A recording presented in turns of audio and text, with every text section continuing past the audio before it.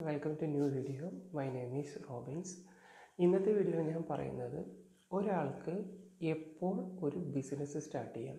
പലർക്കും ആഗ്രഹമാണ് ഒരു എന്റർപ്രനർ ആവണം ഒരു ബിസിനസ് നടത്തണം ബിസിനസ് സ്റ്റാർട്ട് ചെയ്താൽ സക്സസ്ഫുൾ ആവണം എന്ന് പലരുടെയും ആഗ്രഹമാണ്. അത് എപ്പോൾ ഒരാൾക്ക് ഐഡിയലായിട്ട് എപ്പോൾ ഒരു ബിസിനസ് സ്റ്റാർട്ട് ചെയ്യാം അതിന് പറ്റിയ സമയം ഏതാണ്? ഏതൊക്കെ കണ്ടീഷൻസാണ് നോക്കേണ്ടത്? ഏതൊക്കെ സിറ്റുവേഷനാണ് ഫേവറബിൾ ആണെന്നാണ് ഞാൻ ഈ വീഡിയോയിൽ പറയുന്നത്. Once again welcome to my new video okay first point നിങ്ങൾക്ക് എപ്പോൾ ബിസിനസ് സ്റ്റാർട്ട് ചെയ്യാം എന്ന് പറയുന്നത് നിങ്ങളുടെ കയ്യിൽ സഫീഷ്യന്റ് ആയിട്ടുള്ള മണി വന്നതിന് ശേഷമാണ് ബിസിനസ് സ്റ്റാർട്ട് ചെയ്യേണ്ടത്. ഞാൻ പറഞ്ഞത് നിങ്ങൾക്ക് മനസ്സിലായി കാണും. ഒരിക്കലും കടം വാങ്ങിയോ ലോൺ എടുത്തോ വലിയൊരു എമൗണ്ട് ലോൺ എടുത്തോ ബിസിനസ് സ്റ്റാർട്ട് ചെയ്യരുത്. അതാണ് മനസ്സിലാക്കേണ്ടത്. ഫസ്റ്റ് നമ്മുടെ കയ്യിൽ ഒരു കുറച്ച് എമൗണ്ട് വേണം. ഒരു നല്ലൊരു ഫിഫ്റ്റി പെർസെന്റേജ് എമൗണ്ട് എങ്കിലും ബിസിനസ്സിനുള്ള എമൗണ്ട് എങ്കിലും നമ്മുടെ കയ്യിൽ വേണം. എന്നിട്ട് വേണം ബിസിനസ് സ്റ്റാർട്ട് ചെയ്യാൻ. അല്ലാണ്ട് ഒരു പൈസ ഇല്ലാതെ നയന്റി നയൻ പെർസെന്റേജ് ലോണും കടവുമായിട്ട് ഒരിക്കലും ബിസിനസ് സ്റ്റാർട്ട് ചെയ്യരുത്. ഒരു സ്പെസിഫിക് എമൗണ്ട് ഒരു ക്വാണ്ടം ഓഫ് എമൗണ്ട് ആ ഓരോ ബിസിനസ്സിനും ഡിഫറെന്റ് ആയിരിക്കും എമൗണ്ടുകൾ അപ്പോൾ ആ ക്വാണ്ടം ഓഫ് എമൗണ്ട് നമ്മുടെ കയ്യിൽ വന്നതിന് ശേഷം സേവിങ്സ് ഉണ്ടായതിന് ശേഷമാണ് ബിസിനസ് സ്റ്റാർട്ട് ചെയ്യേണ്ടത്. അത് വളരെ ഇതാണ്. കാരണം ഞാൻ പറയാം ഇപ്പോൾ ഒരു റീസെന്റ് സർവേ വന്നിട്ടുണ്ടായിരുന്നു. ഇന്ന് കഴിഞ്ഞ പത്ത് വർഷത്തിനിടയ്ക്ക് സ്റ്റാർട്ട് ചെയ്ത പല ബിസിനസ്സുകളും വെറും രണ്ട് ശതമാനം ബിസിനസ്സുകൾ മാത്രമാണ് പത്ത് വർഷം സെലിബ്രേറ്റ് ചെയ്തത്. അതായത് അതിന്റെ അടുത്ത് തൊണ്ണൂറ്റെട്ട് ശതമാനം ബിസിനസ്സുകളും ഈ പത്ത് വർഷത്തിന് ഓപ്പൺ ചെയ്ത് പത്ത് വർഷത്തിനുള്ളിൽ നിർത്തി പോവുകയാണ് ചെയ്തത്. ഒരു ബിസിനസ് തുടങ്ങി നിർത്തേണ്ടി വരുമ്പോൾ എത്ര നഷ്ടം വരുമെന്ന് നിങ്ങൾക്ക് എന്നെക്കാളും കൂടുതൽ എല്ലാവർക്കും അറിയാവുന്നതാണ്. അപ്പോൾ വളരെ ശ്രദ്ധിച്ചിട്ട് വേണം ഇന്നത്തെ കാലത്ത് ബിസിനസ് തുടങ്ങേണ്ടത്. ബിസിനസ് നല്ലതല്ല എന്ന് പറയുന്നില്ല പക്ഷെ നല്ല ഐഡിയയും നല്ല സമയത്തും നല്ല ഇൻവെസ്റ്റ്മെന്റോട് തുടങ്ങിയാൽ നന്നായി സക്സസ് ആവാൻ ഇപ്പോഴും കഴിയുന്നതാണ്. അപ്പം നമ്മുടെ ഒരു നല്ലൊരു എമൗണ്ട് ഉണ്ടായിട്ട് കടം മാത്രം മേടിച്ച് ലോൺ മാത്രം എടുത്തുകൊണ്ട് ബിസിനസ് തുടങ്ങുന്നത് ഒരു ഐഡിയൽ സിറ്റുവേഷൻ അല്ല. പിന്നെ അതാണ് ഒന്നാമത്തെ പോയിന്റ് രണ്ടാമത്തെ പോയിന്റ് പറയുന്നത് എന്താണെന്ന് വെച്ചാൽ നമുക്ക് ഈ ബിസിനസ്സിൽ നിന്ന് നമ്മുടെ ഡേ ടു ഡേ ആക്ടിവിറ്റീസിനുള്ള പൈസ ആദ്യം തന്നെ കിട്ടുമെന്ന് വിചാരിച്ച് തുടങ്ങരുത്. അതാണ് രണ്ടാമത്തെ. അതായത് നിങ്ങൾക്കുള്ള മന്ത്ലി എക്സ്പെൻസസ് ഇപ്പോൾ ഒരു ബിസിനസ് സ്റ്റാർട്ട് ചെയ്തു. ബിസിനസ് എന്തായാലും നമുക്ക് കുറച്ച് ബിസിനസ്സുകൾ കിട്ടും. അതിന് ആ എമൗണ്ട് കൊണ്ട് നമുക്ക് ഡേ ടു ഡേ ആക്ടിവിറ്റീസിന് പൈസ അതായത് നമ്മുടെ പേഴ്സണൽ ആൻഡ് ഫാമിലി ആക്ടിവിറ്റിക്ക് ഇതിൽ നിന്ന് പൈസ എടുത്ത് ചിലവാക്കാം എന്ന രീതിയിൽ ബിസിനസ് ഒരിക്കലും തുടങ്ങരുത്. ഞാൻ പറഞ്ഞത് നിങ്ങൾക്ക് വ്യക്തമായി കാണും. കാരണം എന്താണെന്ന് വെച്ചാൽ ഇപ്പോൾ ഇന്നത്തെ കാലത്ത് ഒരു ബിസിനസ് അത് ഡിപ്പെൻഡ് ചെയ്യുന്ന ഇൻഡസ്ട്രിയിലായിരിക്കും ബിസിനസ് തുടങ്ങി. ബിസിനസ് തുടങ്ങി കഴിഞ്ഞാൽ അതിൽ നിന്ന് റിട്ടേൺസ് എന്തായാലും വരും തുടക്കത്തിൽ തന്നെ. അപ്പോൾ എന്താ വെച്ചാൽ ആദ്യത്തെ ഒരു പിന്നെ വന്ന ഇൻഡസ്ട്രി ആദ്യത്തെ ഒരു ഒന്ന് രണ്ട് വർഷം ചിലപ്പോൾ അഞ്ച് വർഷം വരെ നമുക്ക് ആ ബിസിനസ്സിൽ നിന്ന് കിട്ടുന്ന ഇൻവെസ്റ്റ്മെന്റ് എല്ലാം വീണ്ടും തിരിച്ച് ബിസിനസ്സിലേക്ക് ഇൻവെസ്റ്റ് ചെയ്യേണ്ട അവസ്ഥയാണുള്ളത് കാരണം എന്താ വെച്ചാൽ ഇപ്പോൾ നമ്മളൊരു ബിസിനസ് തുടങ്ങി അതിപ്പോൾ കുറച്ച് സെയിൽസ് ആക്കി അതിന്റെ റിട്ടേൺസ് കിട്ടി. അതിൽ വീണ്ടും ഇൻ ദ ഫോം ഓഫ് ചിലപ്പോൾ റോ മെറ്റീരിയൽ മേടിക്കണം ചിലപ്പോൾ മാർക്കറ്റിംഗ് കോസ്റ്റ് കൂട്ടണം ചിലപ്പോൾ പുതിയ ഓഫീസ് തുടങ്ങണം അല്ലെങ്കിൽ സ്റ്റാഫിനെ റിക്രൂട്ട് ചെയ്യണം മാർക്കറ്റിംഗ് ടീമിനെ വേണം. അപ്പോൾ അതിൽ നിന്ന് കിട്ടുന്ന ബിസിനസ്സിൽ നിന്ന് കിട്ടുന്ന വീണ്ടും അതിനകത്തേക്ക് ഇൻവെസ്റ്റ് ചെയ്യേണ്ടി വരും ഇന്നത്തെ കാലത്ത് പിടിച്ചു നിൽക്കണമെങ്കിൽ അപ്പോൾ ബിസിനസ്സിൽ നിന്ന് കിട്ടുന്നത് ആദ്യത്തെ അഞ്ചാറ് മാസം കൊണ്ട് കിട്ടുക അല്ലെങ്കിൽ ഒരു വർഷം എനിക്ക് കിട്ടുന്നത് മുഴുവൻ എനിക്ക് അതിൽ നിന്ന് എടുത്തിട്ട് എന്റെ ജീവിതം നിത്യ ചെലവ് കഴിക്കാമെന്ന് ആരും വിചാരിക്കരുത്.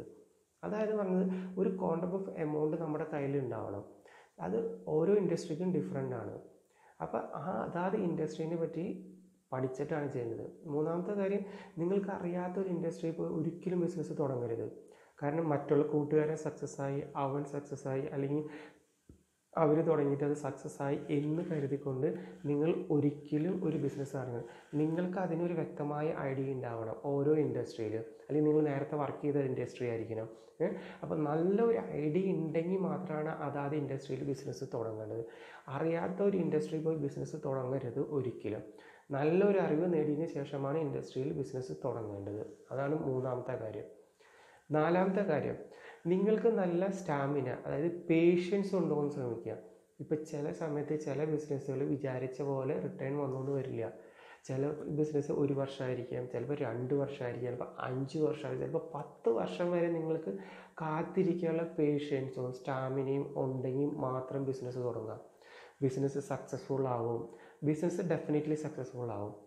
നമുക്ക് ഈ സ്റ്റാമിനയും പേഷ്യൻസും നമ്മുടെ അതായത് ഓരോ ദിവസങ്ങൾ ഓരോ മാസങ്ങൾ കഴിയുന്തോറും ചിലപ്പോൾ നമുക്ക് റിട്ടേൺസ് വരാതിരിക്കും റിട്ടേൺസ് വരാനുള്ള സാധ്യത ചിലപ്പോൾ അകന്നുകൊണ്ടിരിക്കും. പക്ഷെ എന്നാലും നമ്മൾ ആ എനർജി കളയാതെ വീണ്ടും വർക്ക് ചെയ്തുകൊണ്ടിരിക്കുക ആ ഒരു സ്റ്റാമിന നിങ്ങൾക്ക് ഉണ്ടെങ്കിൽ നിങ്ങൾക്ക് എന്തായാലും ബിസിനസ് തുടങ്ങാം. അല്ലെങ്കിൽ എന്താ വെച്ചാൽ ഇന്ന് പലരുടെയും ബിസിനസ് തുടങ്ങുമ്പോൾ ആദ്യത്തെ ഒരു അഞ്ചാറ് വർഷം ഭയങ്കര എൻതൂസിയാസം ഭയങ്കര മാർക്കറ്റിംഗ് ഭയങ്കര എല്ലാം ഭയങ്കര ചിലപ്പോൾ റിസൾട്ട്സ് വളരെ വിചാരിച്ച പോലെ വരുന്നില്ല. നമ്മൾ വിചാരിച്ചതിന് പത്ത് ശതമാനം പോലും ചിലപ്പോൾ വരില്ല. അപ്പോൾ എല്ലാവരും ഭയങ്കര ഡീമോട്ടിവേറ്റഡ് ആയിപ്പോയി. ഇത് ചെയ്തിട്ട് കാര്യമില്ല ഇനി വേറെ എന്തെങ്കിലും ചെയ്യാം. അങ്ങനെ ചിന്തിക്കാൻ പാടില്ല. അപ്പോൾ നിങ്ങൾക്ക് നന്നായിട്ട് ആ ഇൻഡസ്ട്രിയെ പറ്റി നല്ല അറിവും നല്ല വെയിറ്റ് ചെയ്യാനുള്ള താല്പര്യവും ഉണ്ടെങ്കിൽ മാത്രം ബിസിനസ് തുടങ്ങാം അഞ്ചാമത്തെ കാര്യം വളരെ ഇമ്പോർട്ടന്റ് ആയിട്ടുള്ള ഇന്ന് പലരും എന്താ ചെയ്യുന്നത് ബിസിനസ് തുടങ്ങിയാൽ നമുക്ക് കുറേ ഫ്രീ ടൈം കിട്ടുമല്ലോ കാരണം നമ്മൾ വേറെ ആൾക്കാരൊക്കെ വെച്ചിട്ടാണല്ലോ വർക്ക് ചെയ്യുന്നത്. അപ്പോൾ നമുക്ക് അവരെ ജസ്റ്റ് ഒരു മേൽനോട്ടം ഒരു മാനേജർ ഒരു മാനേജർ ലീഡർഷിപ്പ് മാത്രം മതി. വളരെ തെറ്റായ ധാരണയാണ്. ഇതാണ് ഇന്ന് ഏറ്റവും ബിസിനസ്സിന് ഏറ്റവും പ്രശ്നങ്ങൾ ഉണ്ടാക്കിക്കൊണ്ടിരിക്കുന്നത്. നിങ്ങൾക്ക് നിങ്ങൾ ഇപ്പോൾ work ചെയ്യുന്നതിനേക്കാളും twenty four into seven work ചെയ്യാൻ നിങ്ങൾക്ക് താല്പര്യമുണ്ട് നിങ്ങൾക്ക് പറ്റുമെങ്കിൽ മാത്രമാണ് ഇന്നത്തെ കാലത്ത് ബിസിനസ് തുടങ്ങേണ്ടത്. ബിസിനസ്സിന് നിങ്ങൾക്ക് ഫ്രീ ടൈം കിട്ടും. ചിലപ്പോൾ ആദ്യത്തെ ഒരു അഞ്ച് വർഷം കഴിഞ്ഞിട്ടായിരിക്കും. ആദ്യത്തെ ഒരു അഞ്ച് വർഷം നിങ്ങൾക്ക് നിലത്ത് നിൽക്കാൻ സമയം ഉണ്ടാവില്ല. അതുപോലെ വർക്ക് ചെയ്യാൻ പറ്റുമെങ്കിൽ മാത്രം ബിസിനസ് ചെയ്യുക.